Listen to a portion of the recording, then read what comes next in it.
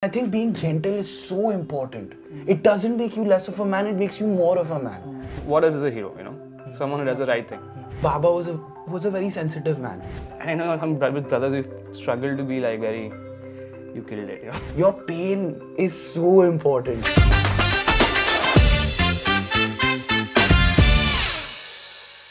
Yeah, welcome everyone to Baatcheet with Yuvaa. Um, I'm very very excited to have uh, two guests over here who uh, I have recently loved their work in a film called Friday Night Plan. I am so glad that you're here Th- thank and for you making this absolutely lovely film. Uh, thank you for watching it. Thank you for Yeah, yeah. enjoying it. Thank you for having us here. I want to, you know, um, Babil, you were so good in that role, and I just felt it was a very nice, subtle representation of mental health in the film. I, I want to hear your opinion about Uh, uh, mental health. Number one, you know, uh, because again, a lot of not a lot of young actors actually mm-hmm. talk about this, mm-hmm. which I feel like is a shame because the more you talk, the more you normalize. Mm-hmm. And uh, yeah, did you did you tap into that energy, you know, or your understanding of of, of your own mental health in mm. trying to bring that to the screen? See, uh, one, I also I feel like the notion that people think mental health has just erupted now, mm. and now people suddenly have mental health. That's not true. Our fathers, our grandfathers, we, they all had mental health issues. They just did not have the awareness to address them. All we have now as a society is an awareness to address those issues. You know, I don't think it's an issue. I just think it's a state of life. It's just a way of life where you uh, reflect, you uh, uh, recognize the way your mind is conditioned to think. You become aware of that, and then you slowly start making adjustments to just the way you think because it can be changed. And when you change little things in the way your thought process happens, Yeah. the way you feel about yourself changes completely. So I think I tapped into that very strongly. Yeah. What do you say Hmm. uh, on days that you feel down? What do you say to yourself?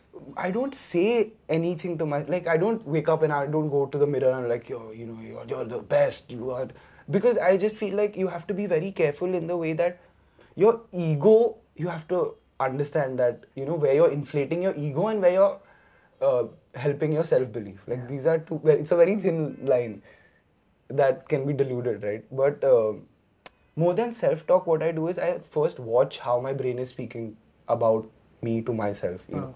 so in the sense that like say I have Yuvaa, right? Or I have something to do and I'm I wake up and my first instinct is to panic because of you know ki, I can't do it. I can't do it. So I just look at that thought. I don't don't react to the thought. Just watch the thought come, see how it it is making me feel, and then logically address that thought. Like what you know what is making me feel like why are you speaking like this about me Yeah. or uh, why am i speaking like this about myself and when i address that thought logically and i see it for what it is when i've addressed it the impact of it automatically goes away i don't have to do anything Yeah. but if i don't address it and it starts a chain of thought then that's where i am in trouble Yeah. because then i don't know where it started so it's important to address the first block of you know your chain of thought I love that. Wow.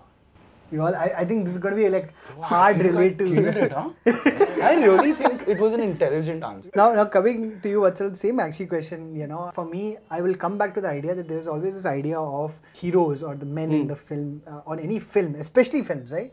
To be seen a certain way. But it was it was very, uh, you know, it was so so nice and refreshing to see, you know, uh, the the the lead hero of a film not behave very so to speak heroic so i want to understand you know where first of all again is this some is this probably something that you have really worked towards very consciously that i want to showcase a certain kind of uh, either mental health or masculinity on screen and uh, and be like you know where does where does this come from in your own life i'd love to hear uh, that Sure. Uh, as a storyteller, you have to have your take on it.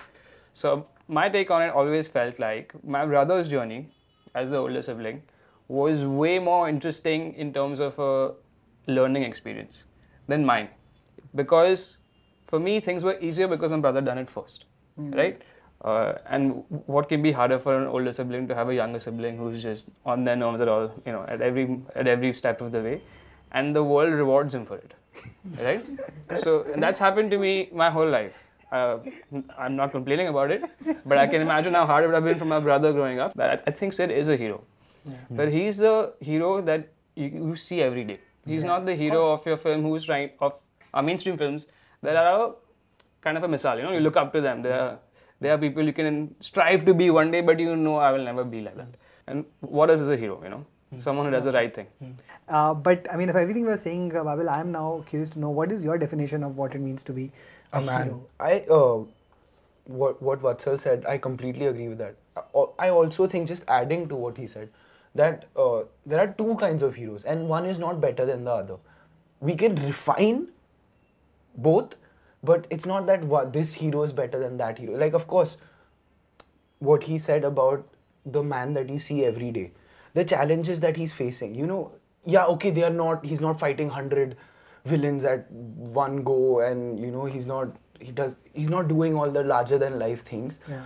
But the challenges he's facing for him, they are, you know, they are that level. You know, they are like a war. So that is a hero when he's, you know, battling those challenges and coming out on top every day and deciding to get out of bed and going through that day when your insides are screaming. That is a hero. And then there's the larger than life hero. The larger than life hero, right? The way it has been presented, it can be larger than life. It can do all those things. It can fly. It can flip hundred people. It can, you know, pick a car up with one hand. But what if that larger than life hero was sensitive? You know, felt pain, want was able to express pain, didn't have toxic masculinity traits. If we could refine that larger than life hero, that is what my you know that is where i feel like i want to head Where does this come from, Babil? fro- From you? Why do you feel like this way? What have you understood about yourself? You know, in, in all the years that you've had Yeah. growing up. The way men treat themselves internally if they are not willing to be more sensitive to themselves if they are not willing to accept the pain and be able to express that pain and be willing to express that pain you you are weakening yourself as a man. You are not living as a man. You are living as a shadow. And that shadow is frustrated and it's irritated because you're not letting it be human. Yeah. and that is a problem with men we are we have the the toxicity of masculinity comes from the fact that we are so frustrated. It is we want to express pain we want to cry but you know we tell ourselves that men don't do that and that is that makes you a shadow that doesn't make you a man. Because Yeah. i used to i used to see you know like a lot of me- men right in university. The men that men that really thought they were men you know they were buff they were ripped. And uh, all of those toxic traits that we talk about the way that th- that was reflecting was the way that they treated their girlfriends. That i always noticed. You know there was a lot of ego and there was a lot of pride in uh, the way the, there was no the, it was not gentle. And i think being gentle is so important. It doesn't make you less of a man it makes you more of a man I actually just want to get into the person behind. As I said, I just want to get into your. Where are these opinions coming from, for both of you, right? Like, I love what you said, Babil. Why do you feel like this? Baba was a was a very sensitive man. Even though he was a sensitive man, he was still away for shoots. Sure. And I was with Mama all the time, living in Madh Island, where I had no contact with people. Like it was, I was alone.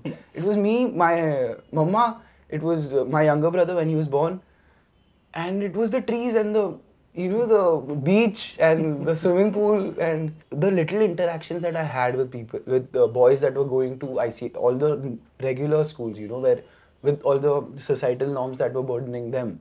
I would go and I would try to interact with them but I was just there was a there was always a disconnect. Like Yeah. I was never accepted by the boys. So I became really good friends with women. It just it was not it was just it was great friendships that I had and I just grew up like that. So I think at that time I used to feel so lonely. But I'm, I cannot, I cannot imagine my life without that loneliness. That loneliness brought so much depth to the way I feel and to the way I think and to the way I behave. Your pain is so important. You know, when you're feeling your pain, you're just like, oh, I don't want to feel this. But you realize later that man if i hadn't felt that pain who would i be? You know? Like pain is so it's it makes you. Like happiness is great and you need that relief but it is pain that really uh, makes you get in touch with who you are i think Wow. in my opinion. Not a fact What a great answer, dude. On an older note. thank you Wow. Uh, Babil, you are an older brother, right? You're, yeah. you're, you have a younger brother. And uh, uh, Vatsal, your, your brother seen the film? Yeah. i have also met his brother Yeah. Yeah, yeah, yeah. What did he say Uh, after seeing it? What did what were his reflections on on the relationship shown in the film? Sure. Um, uh, I have a chance to say this now, so let me just say it for what it's worth The character is not my brother. Okay? for for his sake, a lot of his friends, you know, they call me and like, "You nailed it, man. He's just like this." I think he really like he see he's seen versions of the film. He saw it when it was rough and all Sure. this. So it's not like एक बार देख के ऐसे आंसू आ गया ऐसा नहीं but he he was like I, I know हम with brothers we struggle to be like very you killed it you know, you, know you, you can't say that Yeah. my mom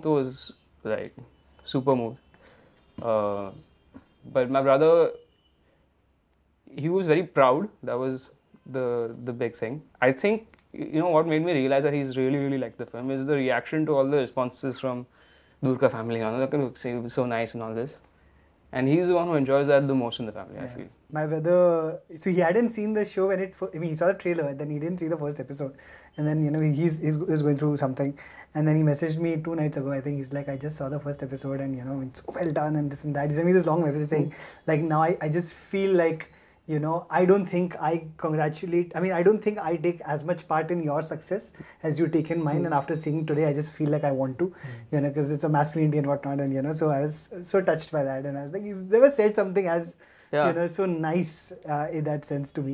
Yeah what is your relationship with Ayaan right isn't it? Yeah. Yeah what's your relationship with uh, Ayaan like? Bro, uh, one thing the um, Baba passing had a huge impact on I think our relationship. Before that, you were getting to the point of you know where we are now, but the tragedy that struck our family, I think that accelerated the growth a lot. But um, when we were younger, Ayaan is a reserved person. He's very introverted and he's very uh, choosy about his affection. but I am a very affectionate person, and he's when he was small, bro, he was the cutest boy. like, I'm not kidding, bro. I'm not kidding. No, no, no. This is a fact. I'm not kidding. Like, it's not my opinion. He was so, bro, he was so cute. And I wouldn't be able to resist. I would just hug him and I'd give him kissy attacks. But that was my choice. Yeah. I made that decision to give him affection. Now, if he does not want to give me affection back, that should be okay. Oh God this is so So it wasn't to- okay to me. Because I'd give him affection and then he'd walk away. Bro, I'd feel so horrible, bro. I'd see my little younger brother walk away. And that would destroy me. Like, it would destroy my ego. It would. Dis- so, you know, that, those complications were always there. Then I'd take it out in football, you know, I'd nutmeg him four times before scoring the goal. Dekha, bada bhai kaun hai, dekha. And then, and then I'd score the goal. And- but yeah so growing up it was a lot of that me needing his love he not giving me he he trying to make me understand that he's a different person me not understanding Yeah. but now I think we can just like I'm he's my bestest friend in the world. Like there is nobody I cannot imagine my life without my brother, and he's so mature. And mammas, you know, mammas they they feel they're mama, you know, so they don't look at. भावेल तुम छः बजे नहीं उठ रहे तुम साढ़े छः बजे कैसे उठे? ये आधे घंटे तुम कॉस्टिंग हुई और I aunt takes mamma the corner he like mamma have you ever had to face the pressure of social media Instagram fame publicity this have imagine imagine twenty 25 year old he's 20 he's 20 years old and he talks about me as if i am younger than him. Can you imagine, Mama, that 25 year old kid? I'm like, Ayaan, Ayaan, listen.